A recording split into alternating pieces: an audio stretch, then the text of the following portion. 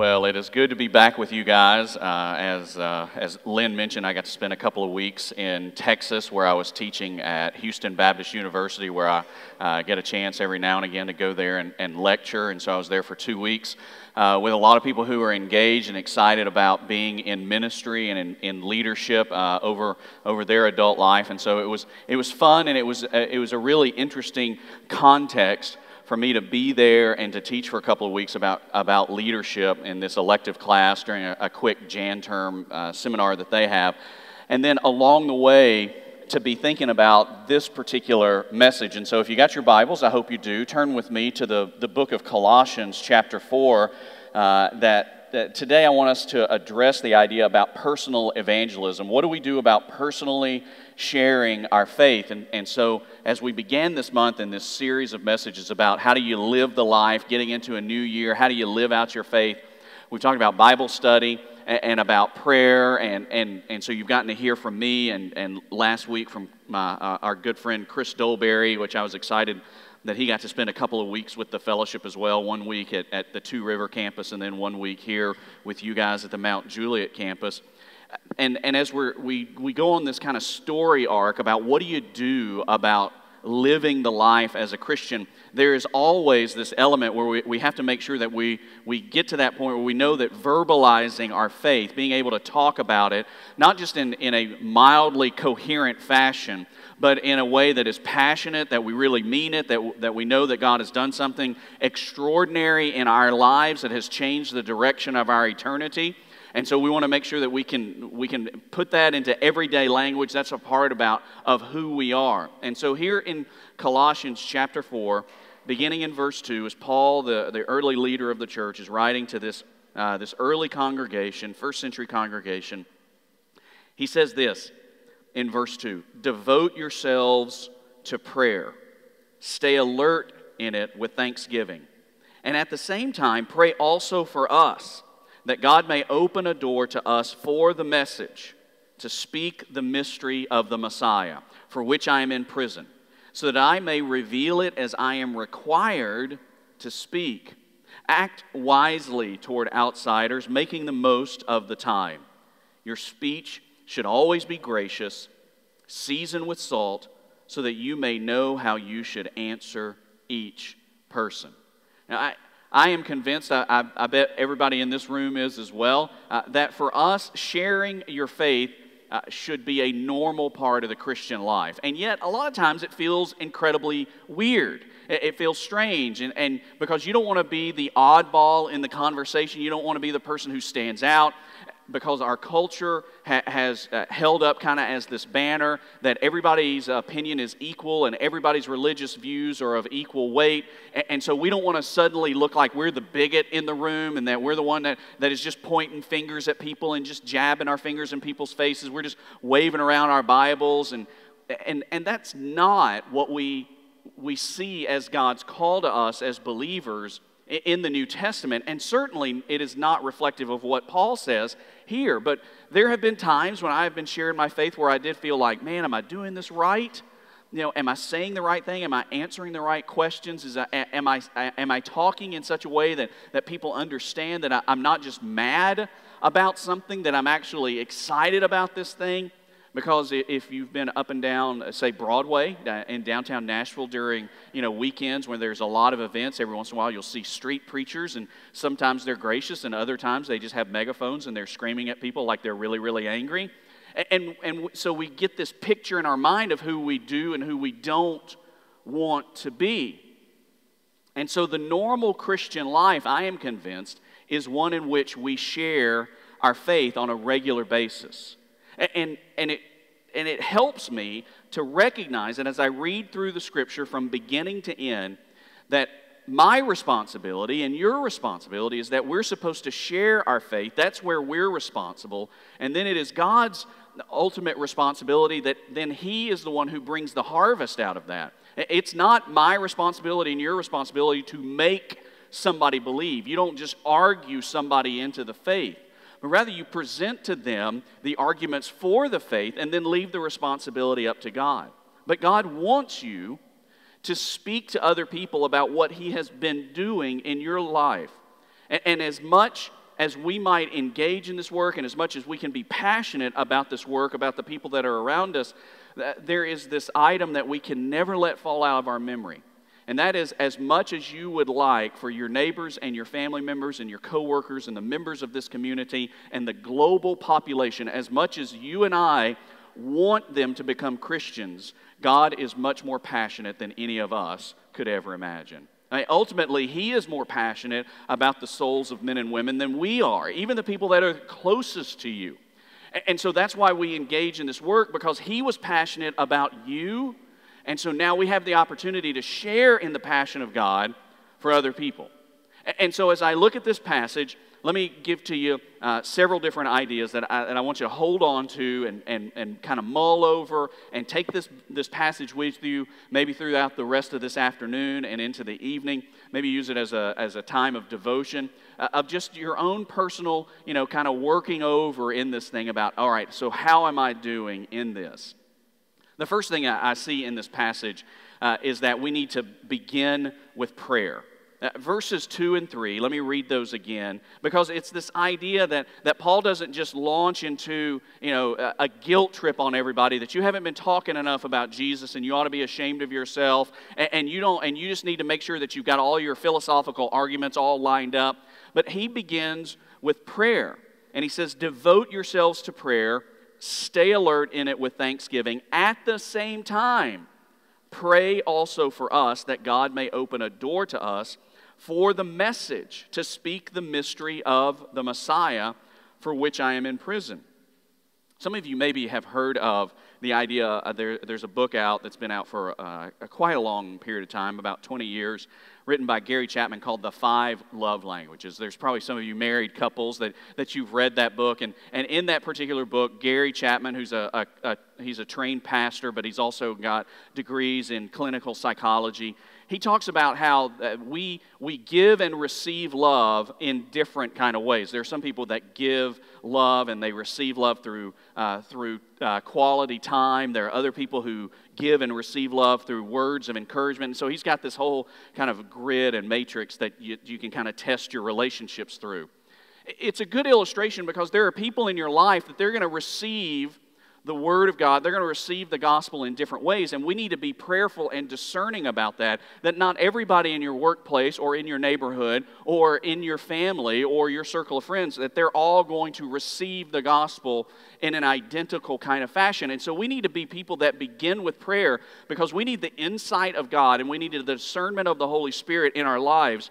So, that, so we want to start with prayer so that we can be ready for every unique moment that's going to happen in our life. So that at the time and the opportunity when it arises that one that will recognize it and that two will be ready. And so we begin this prayer uh, this idea with being devoted to prayer. It is an interesting kind of turn a phrase here that Paul uses because we think about personal devotional time that that's that time I set a time uh, you know aside in my day or in my week when I'm going to I'm going to specifically sit down and I'm going to read my Bible and I'm going to pray. But you know this is where we get the idea of personal devotional time that th- that you are devoted to it that there is a commitment there that that it's not something that is just kind of a passing fancy.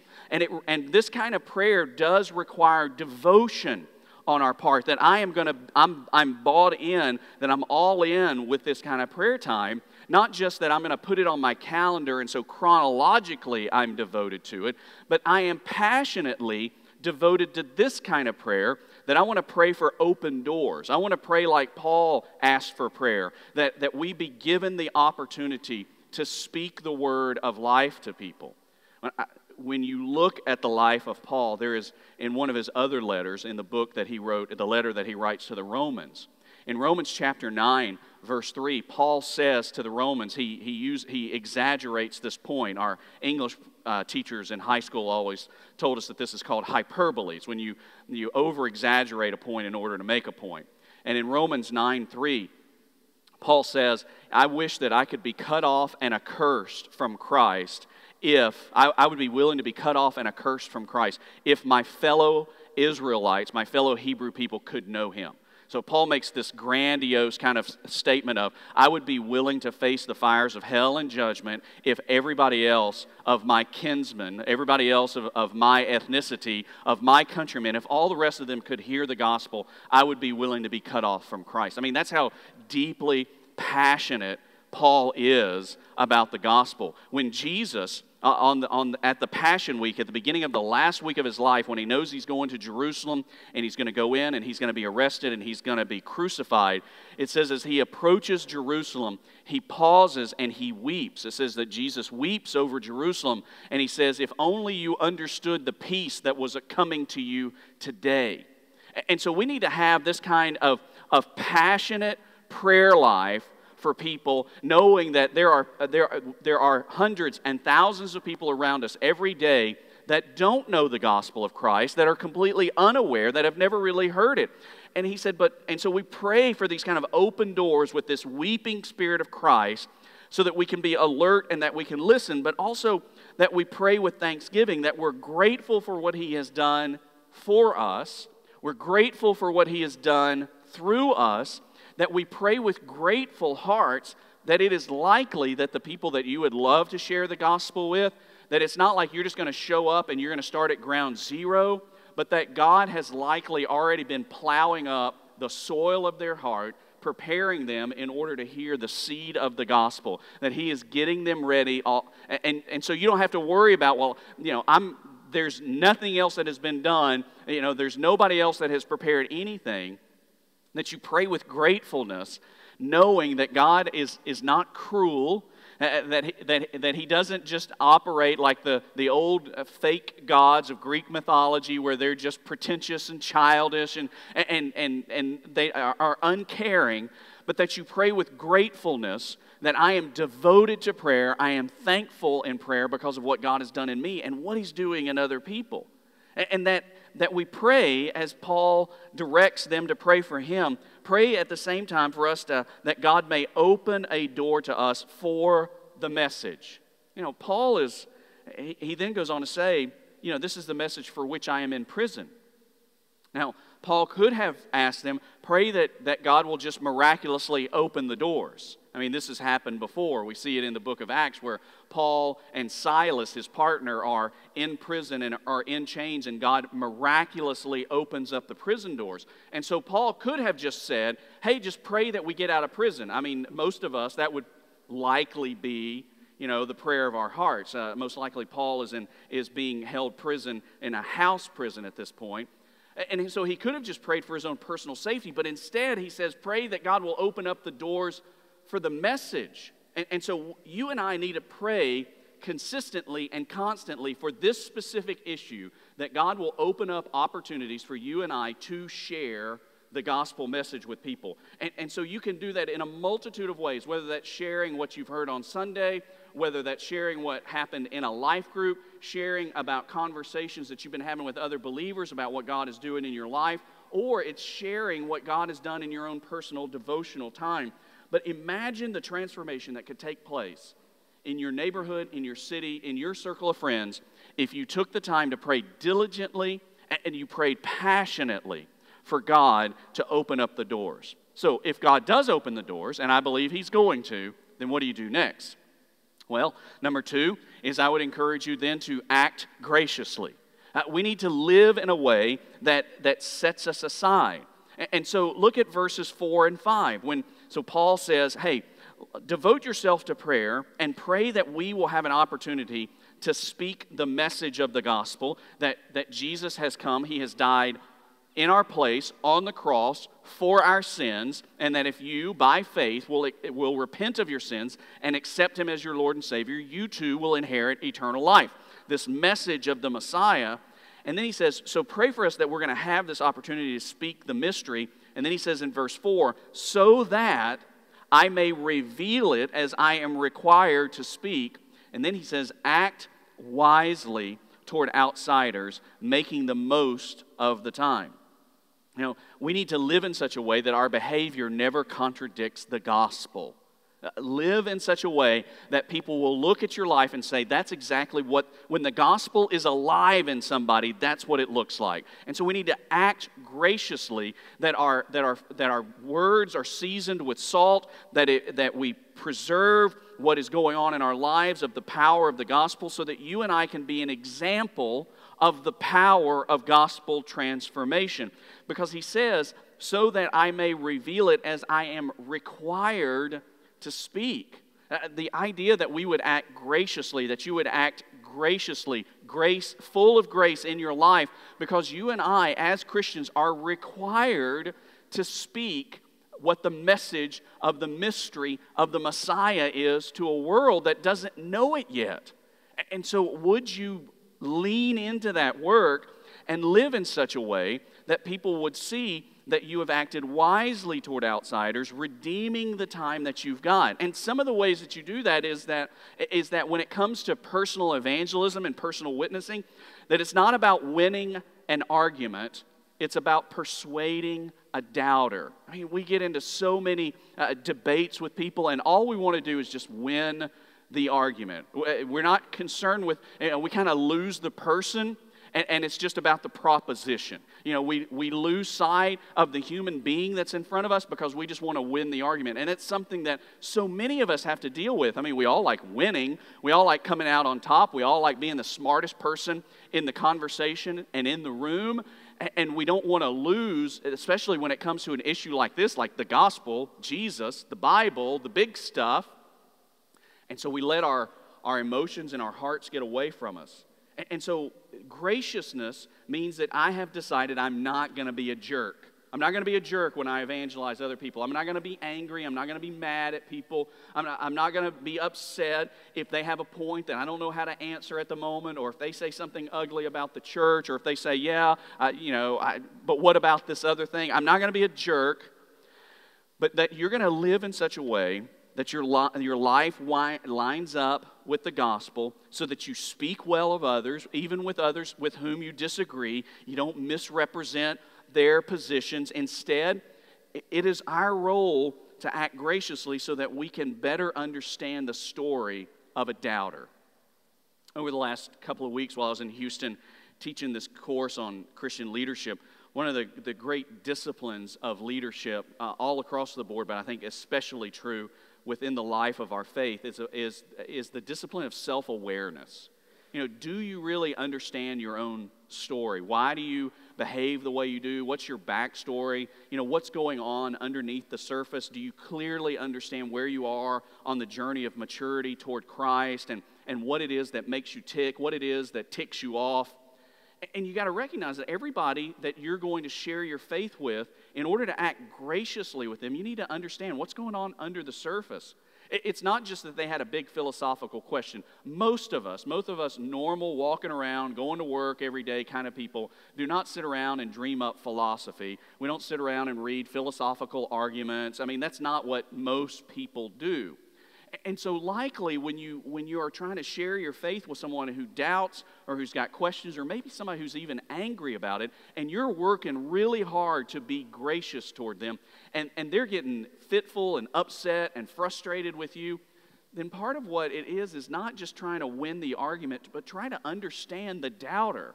Understand what, what, what is it that has brought them to this place in their life? Why is it that they now you know, refuse to even believe in the presence of God? Why is it that they have decided that if God is out there, that He's really not involved in our life? Why is it that God, eh, they, that they picture God as somebody who's, who's just angry and judgmental all the time? Was there some death in their family that was particularly hurtful for them? Have they experienced some kind of failure in life where they think, well, God just doesn't care about me? Is it that they morally feel like God could never accept me or forgive me? And so they just think that God's love and forgiveness is really not big enough to cover up their own lives? And so instead of using people for evangelistic target practice, I want to encourage you to include them into your life and invest in them as a human being. That if you're going to act graciously, I, I, want you to drop any kind of idea of just drive by evangelism, of it's just going to be rapid fire, just bam, bam, bam, bam, bam. Well, I dropped a track of the four spiritual laws on their desk and I'm done, or I gave them a New Testament, so I'm done. And this idea of just this, you know, that I just use them for target practice. I, I want to encourage you to never hide behind Facebook, Twitter, and a string of emails of just arguing with somebody else. But instead, get with them face to face and include them into your life so that you can minister to them. It's why life groups are so critical in, in our congregation because it, it builds up and encourages the believer, but it gives space and opportunity for somebody who is still doubting, somebody who's not sure about everything, somebody who's got questions that they can sit down in the living room of some trusted friends as you're plowing through the Bible and, and they can say, But I got a question here. Uh, but I don't understand this over here. But uh, let me tell you part of my story. And so we begin with prayer and we say, God, we need you to just fling open the doors of all sorts of opportunities. And I'm going to devote myself to looking for those opportunities and praying for the discernment from the Holy Spirit for those opportunities. And then throughout my entire life, I'm going to live in a gracious kind of way where I'm going to include people into deep friendships and into deep fellowship. And, and I'm not just going to use them for target practice and I'm not going to get angry and frustrated. But then I think he says, here in verse 6. That the third thing is that, but we do need to speak clearly. It says in verse 6 Your speech should always be gracious, seasoned with salt, so that you may know how you should answer each person. There is this requirement that he, he says earlier in verse 4 that I may reveal it as I am required to speak. There is this terrible old saying that has, that has made the rounds, and, and unfortunately, it was, it, was a, it was a lot of ministers who gave it traction on Facebook and Twitter and social media over the, over the last few years. It, it's, it's been included in illustration books and quote books that pastors have used for a long time, and it is attributed back uh, to one, uh, a fourth century uh, leader of the church, Saint Augustine. And supposedly, Augustine said, Preach the gospel at all times, when necessary, use words. Now, that just sounds, I mean, that just sounds like something a Baptist preacher would say, doesn't it? I mean, that just sounds right. Uh, the problem is, Augustine never said it, um, and, and, and, and there's a part to it that is actually, at the end of the day, it's a little unhelpful. Now, should you live in such a way that it reflects the gospel? Absolutely. I just spent a, you know, a few minutes talking about that.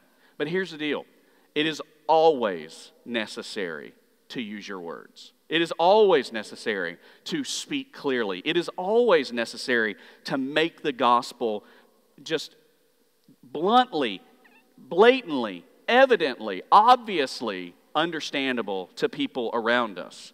And so I do want you to make it a priority in your life that you pray for God to give you an opportunity to share your faith, that you live in such a way that when you do share your faith, it makes sense, that nobody says, well, what he or she is talking about right now really doesn't match up with anything in their life. But more than maybe anything, I want you to make sure that you are speaking clearly the message of the gospel, that you're using your words.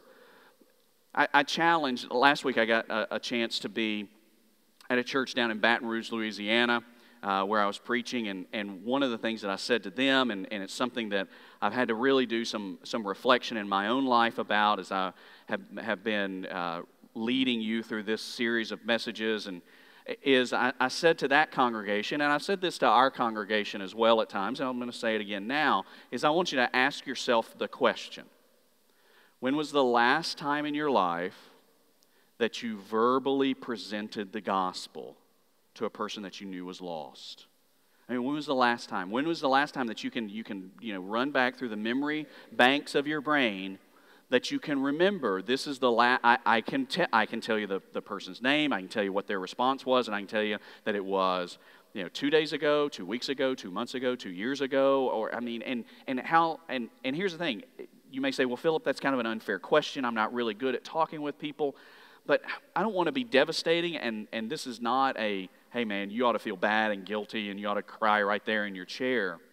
But as people who have inherited eternal life because of the grace of Jesus Christ. Somebody, whether it was a pastor on a platform or a Sunday school teacher in a small group room or it was a parent or a friend, somebody told you and me the message of Jesus. Somebody explained it to us. Somebody told us that, that Jesus died for your sins. Somebody told us you're a sinner and you're separated from Christ because of your rebellion. Somebody told me Philip, there is, there is judgment that comes to us at the end of this life. Somebody told me, but Jesus died on the cross as the perfect sacrifice, and he was willing to stand in the place Uh, of, be, of having the wrath of God against sin being poured out on him rather than it being poured out on you. And if you'll put your faith in Jesus, if you will trust him and only him for your salvation, he promises and God always keeps his promises. He promises that he'll save you. He promises that he'll adopt you into his family.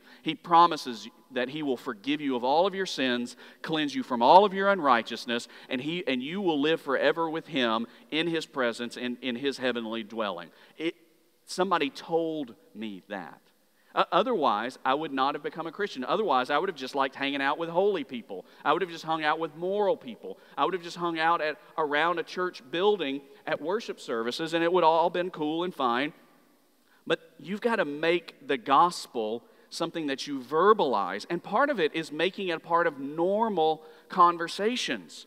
A lot of times we think, well, it's only these special, you know, specialized kind of moments that it's unlike any other moment in all of life.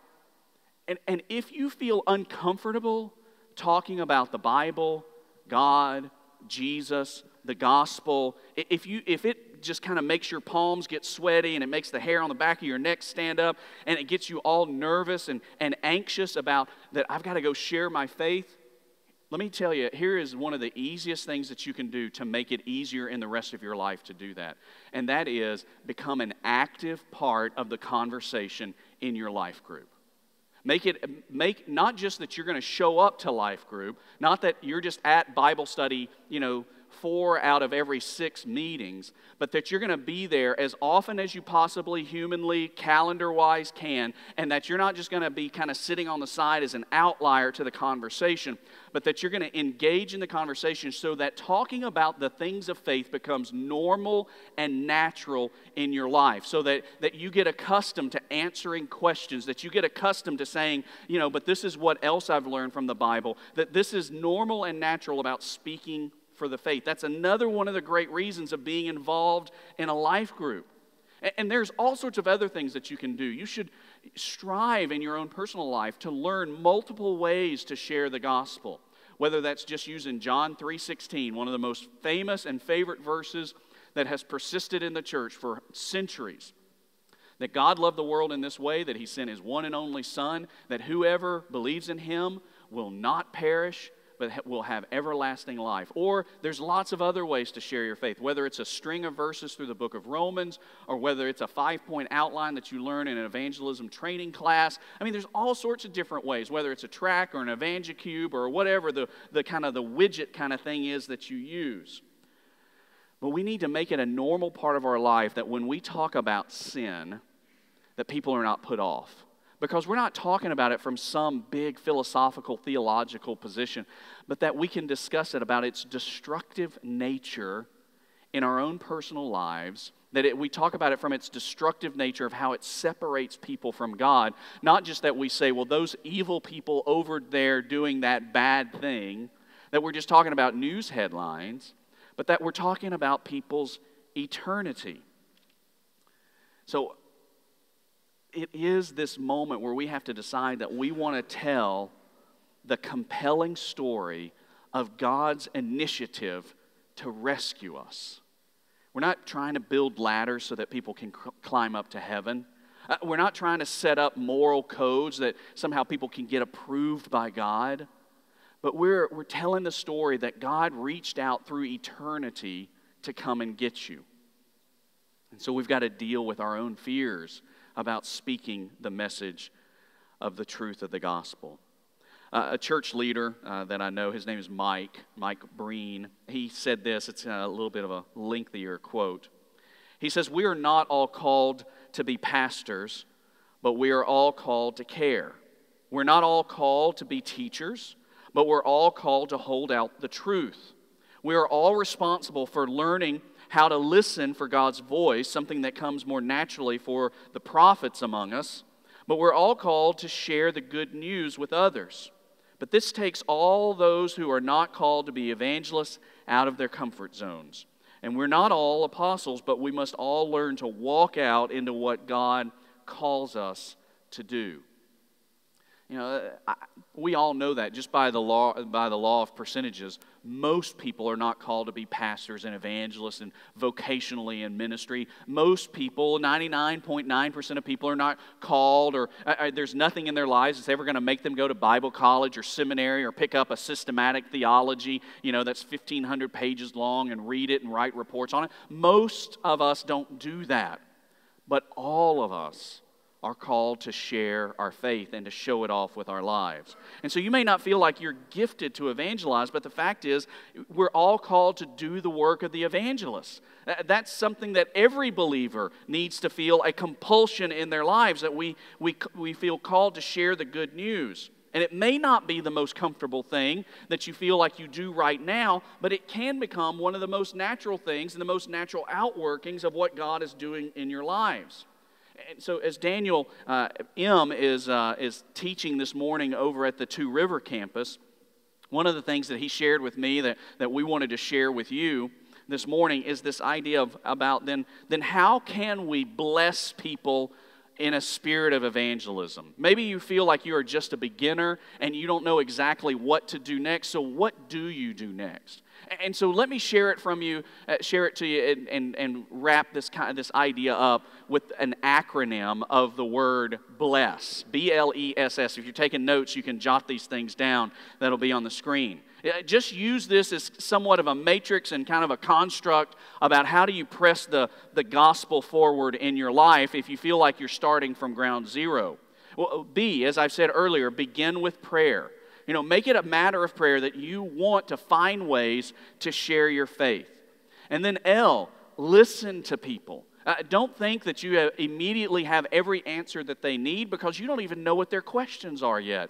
They may have questions that you've never even heard of yet that you say, you know what, let's explore this together, but listen to them.